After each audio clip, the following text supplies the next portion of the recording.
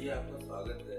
मेरे इस art gallery में फ्यूचर पेंटिंग के साथ आज हम आपके साथ मेरे नज़रिए एक्सपीरियंस करते हैं।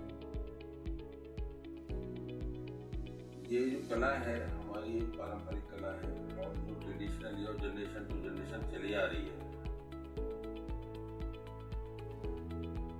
राजस्थान स्टूडियो युवाओं को नए नए लोगों को